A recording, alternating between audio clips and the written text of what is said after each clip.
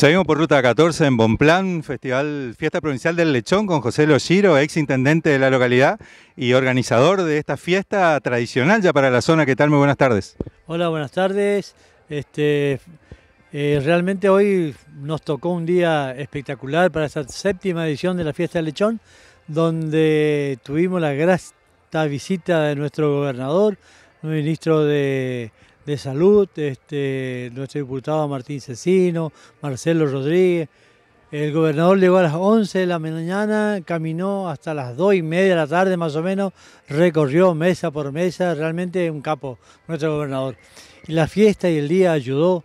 Hoy, por ejemplo, esta séptima edición que hacemos acá en Montblanc, que, que fue gracias a Dios este, pensada y trabajada por los propios colonos, eh, hoy nos da la posibilidad de tener 4 o 5 mil personas disfrutando de este evento que este, lo estamos escuchando, lo estamos viendo, digamos, es maravilloso.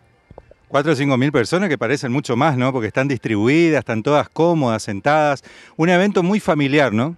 Eh, que esto es lo lindo de esta fiesta. Yo digo, eh, acá adentro, no sé cuántas, sinceramente no sé cuántas personas habrá porque no, no controlamos las entradas todavía, pero hay mucha gente eh, viviendo en familia, gente de, Chaco, de Formosa, de Corriente, de acá de Misiones, de todos los pueblos de Misiones, acompañando este, este evento que ya es tradición en Mont y en la provincia, porque es una fiesta provincial.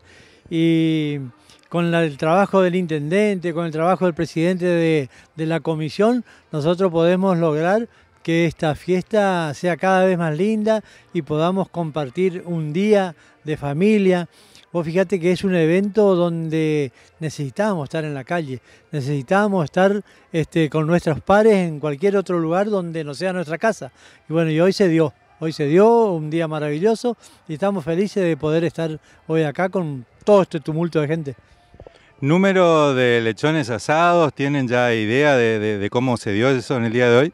Bueno, mirá, se hicieron 200 lechones y se hicieron este, mil kilos de carne vacuna, mil kilos de carne en espeto de, cerdo y bueno, eso se vendió todo y ahora bueno, se vendió eh, las comisiones de distintos colegios, barrios, qué sé yo, hizo empanadas, pastelitos, eh, todo lo que vos te puedas imaginar de comida, así que comida sobraba por todos lados.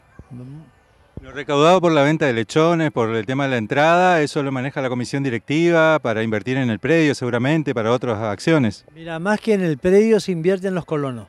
La idea es que de esta fiesta el colono que produce cerdo pueda sacar un crédito a tasa cerdo, ¿no? Y en octubre del año que viene él devuelve ese crédito en kilos de cerdo. Esa es la idea del festival. Seguramente un éxito feliz. Eh, estuvimos recorriendo y la verdad que mejor imposible, ¿no?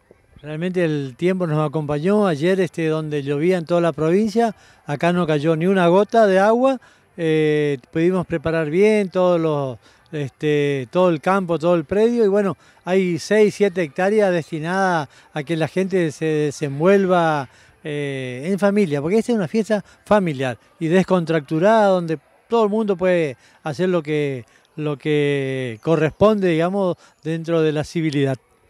José Lociro, muchas gracias por recibirnos en tu casa, siempre con la mejor predisposición en esta tan linda fiesta. Bueno, muchísimas gracias a ustedes y este, esta fiesta cada vez más linda con el acompañamiento del gobierno provincial, ¿no es cierto?